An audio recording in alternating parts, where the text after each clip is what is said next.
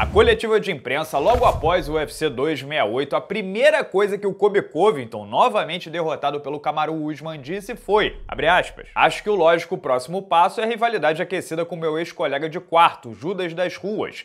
Ele devia simplesmente sair da luta com Leon Scott para que nós lutássemos. O que aconteceu dois dias depois, o anúncio da lesão do Jorge Masvidal, que não vai mais aparecer no UFC 269 do dia 11 de dezembro, para enfrentar o Leon Edwards. O inglês, claro, cuspiu fogo nas redes sociais, Sabia que essa fraude do Masvidal não lutaria comigo, mas o objetivo permanece o mesmo. Agora vou tirar um tempo para minha família. Kamaru Usman, te vejo em breve. Covington, claro, tratou de tirar onda e posar de clarividente, Ouvi dizer que o Judas das Ruas, o homem frágil, saiu da luta com Edwards por ter machucado os seus sentimentos.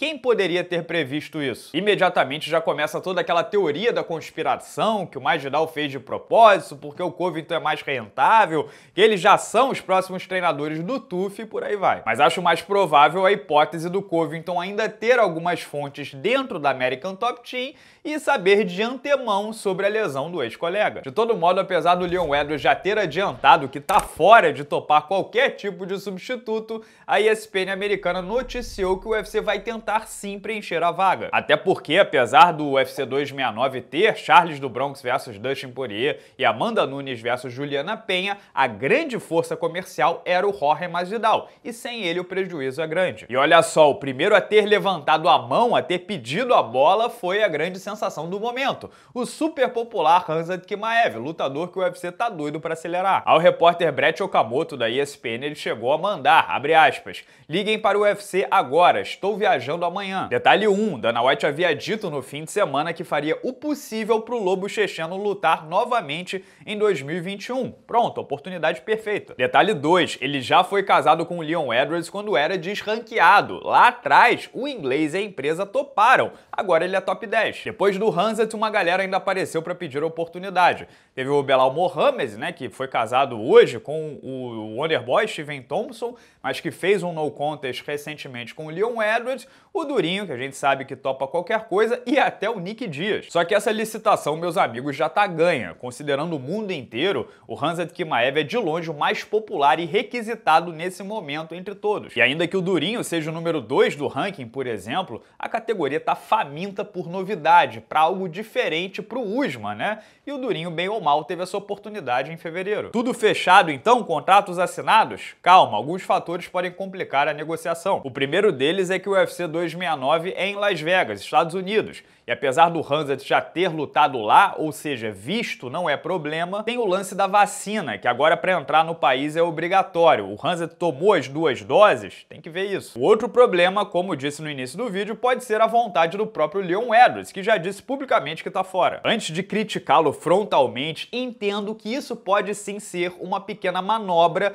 para tirar grana extra do tio Dana, tipo, quer botar um menos ranqueado, quer trocar um striker por um wrestler checheno, bota mais 200k no cheque. Do contrário, se só bater o pé e se recusar a lutar no card que ele já ia lutar, ou seja, ainda tá com o camp completo, a gente pode concluir que o Leon Edwards não é muito brilhante. Primeiro porque a melhor oportunidade para ele cravar o title shot é exatamente tirando da corrida o cara mais visado da categoria no momento. Essa luta com o Hanzat, ainda mais nessa altura da carreira do checheno, que ainda tá sem camp completo e acabou de lutar, é uma benção pro Edwards, porque se ele vencesse o Masvidal, ainda assim teria a concorrência do Lobo. Agora, se ele tá achando que vai melar as vendas do último pay-per-view do ano e mesmo assim o Dana White vai guardar o title shot dele com todo carinho e esmero, sendo que a única vitória do Leon Edwards nos últimos dois anos e meio foi sobre o Nate Diaz numa luta em que ele terminou semi-nocauteado, cara perdeu o contato com a realidade. Não digo que a chance é zero disso acontecer, porque no MMA nunca se sabe, né? Um lesiona aqui, outro pega Covid ali e a oportunidade cai no colo. Mas o cara menos popular do top 10 com frequência baixa e má vontade de ser premiado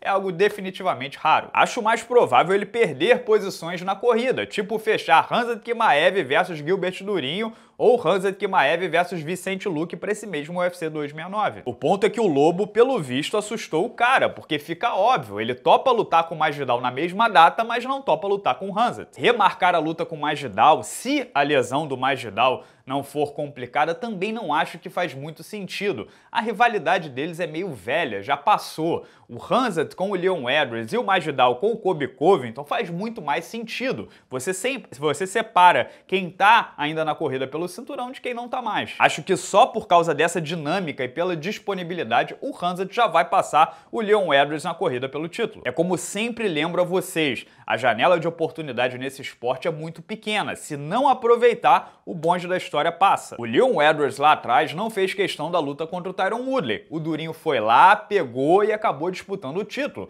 Agora o cara de novo tá dificultando as coisas. Enfim, mesmo que a próxima luta do Hanzat não seja pelo cinturão, como Dana White garantiu que não seria, a próxima luta do Usman, que esse sim tá tranquilo para tirar férias com a família e voltar só no meio do ano que vem, pode acabar sendo contra o Lobo. Mas claro, esse é apenas o meu ponto de vista, a narrativa que eu bati aqui analisando os fatos. O que, vocês acham dessa situação inteira? O Leon Edwards está certo de tirar o corpo, esperar o que vai acontecer na categoria, dar espaço para o Hansa lutar mais uma vez, para o Vicente Luke lutar outra vez também? Ou não, ele deveria continuar, tentar negociar de alguma forma? Comentem livremente aqui embaixo no vídeo, se inscrevam no canal para não perder nenhuma resenha. Lembrando que esse mês 10 camisas do sexto round serão sorteadas, é o nosso maior sorteio até aqui. Então, se você quiser concorrer a uma camisa do sexto round, ajudar o canal a crescer e participar do nosso conteúdo, agora é a hora. É só clicar no botão azul seja membro aqui embaixo. Não percam também a minha resenha de ontem que eu falei sobre o Camaro Usman. Esse debate de Camaro Usman é maior do que o Jorge Sampierre ou não. Quem é o maior peso meio médio da história? Eu respondo aqui do lado. Beleza? Grande abraço a todos, muito obrigado pela audiência de sempre e até a próxima.